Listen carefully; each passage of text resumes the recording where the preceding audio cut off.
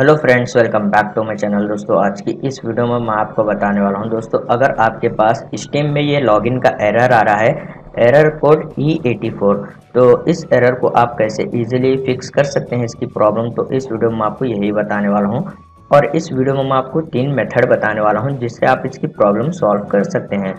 First method, आपको जो है, सबसे पहले रन कमांड ओपन करना है। विंडोज़ की प्रेस करते हुए आप आर प्रेस कीजिए। यहाँ पर रन कमांड ओपन हो जाएगा। उसके बाद आपको यहाँ पर इस तरीके से टाइप कर कर ओके के ऊपर क्लिक कर देना है। फिर दोस्तों, आपको यहाँ पर ये टेम्पररी ऑल फाइल्स को आपको सेलेक्ट कर देना है। फिर यहाँ पर सेलेक्ट कर कर आप इसको यहाँ से डिलीट कीजिए। इस तरीके से। उसके बाद दोस्तों, आपको जो है यहाँ पर इसको क्लोज कर देना है। सेकेंड मेथड आपको विंडोज़ के सेटिंग में जाना है। अगर आप विंडोज़ 10 यूज़ कर रहे हैं तो आप जो है सेटिंग में जाइए। मैं यहाँ पर विंडोज़ 11 यूज़ कर रहा हूँ। विंडोज़ 11 की सेटिंग में जाते हैं। स्टार्ट मेनू पर क्लिक कर कर सेटिंग पर क्लिक कर देना है।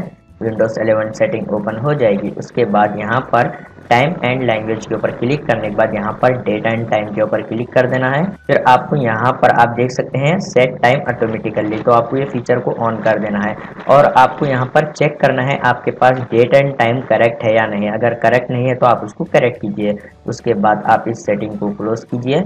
थर्ड मेथड आपको जो है थर्ड मेथड आपको स्टीम एप्लीकेशन को अनइंस्टॉल करना है आपके पीसी में से। तो यहाँ पर विंडोज़ की सेटिंग में जाते हैं।